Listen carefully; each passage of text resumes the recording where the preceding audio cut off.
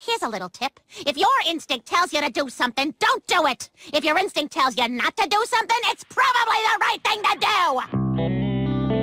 You want to hurt me? Go right ahead if it makes you feel any better. I'm an easy target.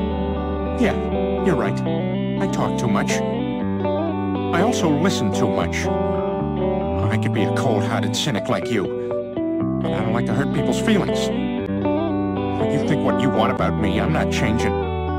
I like, I like me. My kids like me.